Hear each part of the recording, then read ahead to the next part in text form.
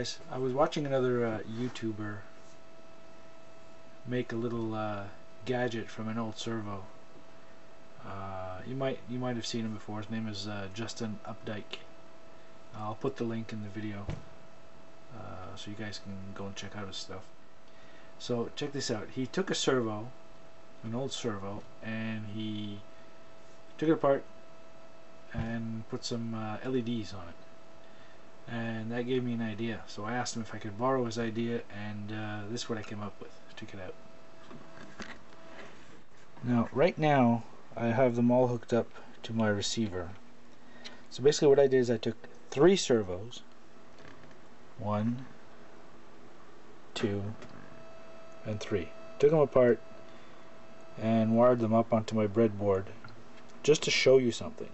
Like I haven't done anything concrete with it yet but I want to show you something. And you can do with it what you want after, but this is really cool. So if you have old servos laying around, you can have a lot of fun with them. Check this out. Okay, so I'm to power it up.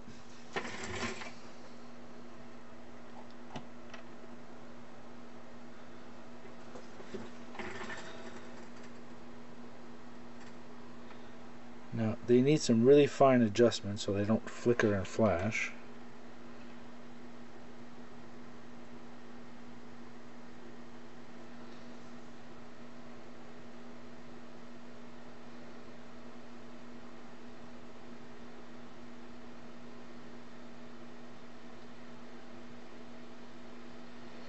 Ideally, you might want to go to the electronics store and get yourself a precision potentiometer with the same uh, resistance range as the ones that are in your servos. Basically you're replacing the motor with LEDs. Now check this out.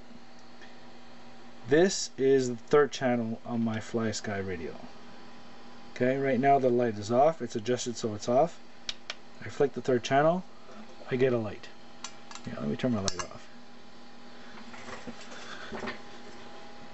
See that? No. Let me give it some more.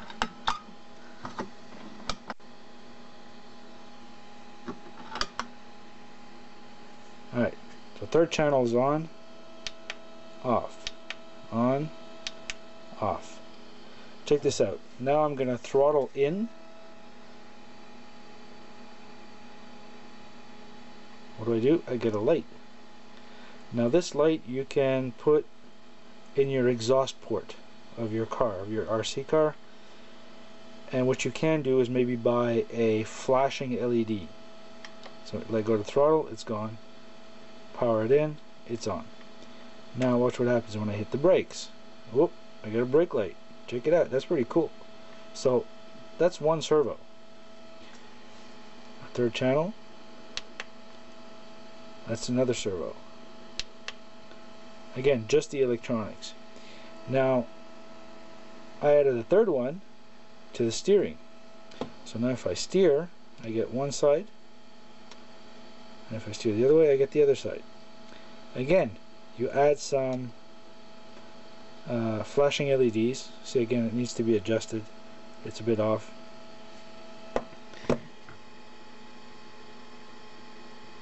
Yeah, see, it's adjusted now. So you get right, left, right, left, right, left. So if I add so if you wanted to you can add some flashing LEDs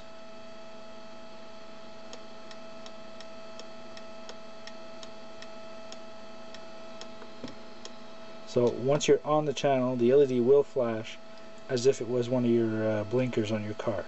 Same thing with the left side. So right left throttle yeah, see? The adjustments are very sensitive.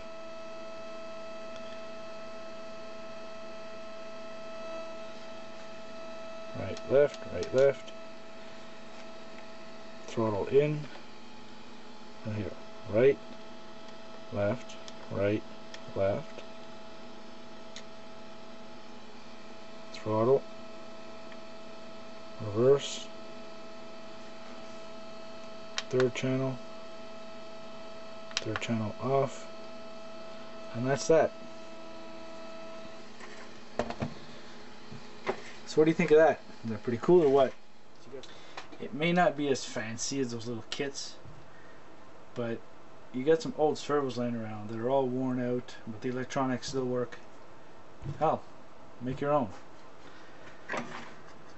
Uh, as far as the LEDs go, most the, the, three servos that I tested put out about 4.5 volts. The LEDs I have are rated for that range, uh, which is around 5 volts. So my LEDs are fine. Uh, you might have LEDs that are rated for 3 volts. If you do, you need to add a resistor to it. Uh, in order to do so, you need to check your forward voltage, let's say 3 volts, uh,